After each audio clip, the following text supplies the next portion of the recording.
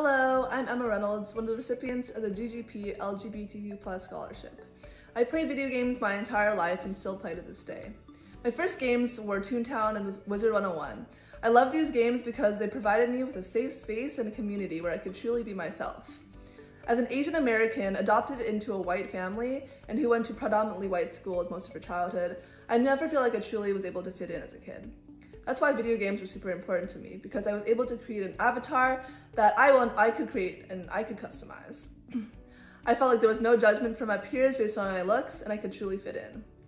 I started streaming over COVID and I wanted to be able to create a community where people did not have to be ashamed regardless of their sexuality, gender, and so on.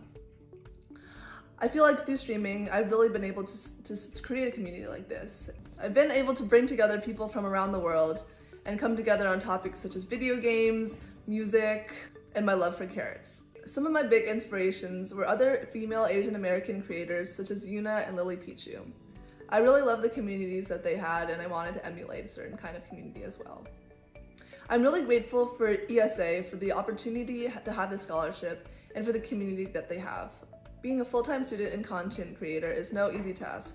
I have to pay for my own bills, and have to balance school and streaming and all that stuff too.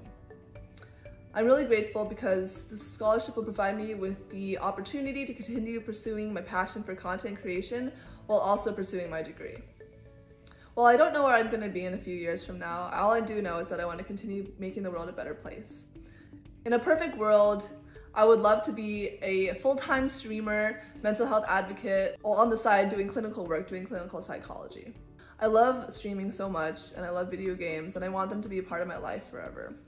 I'm super grateful for ESA and the opportunities that it's provided for me and I really can't wait to see what comes next.